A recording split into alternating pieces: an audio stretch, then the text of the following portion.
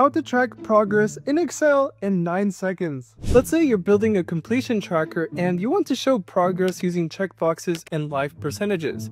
First, select the range where you want the checkboxes to go, in this case, day 1 through day 5, then go to the Insert tab, click on checkbox and Excel will drop one into every selected cell.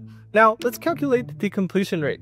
Click on the first cell under the completion column and type equals count if, open parentheses, then select the range of the first row, then comma, type true, then close parentheses, then a forward slash, type count A, open parentheses, then select the first row again, close the parentheses and hit enter. So that means count how many checkboxes are checked and divide that by the total number of days, double click the fill handle to apply it down, and now every student's progress updates automatically.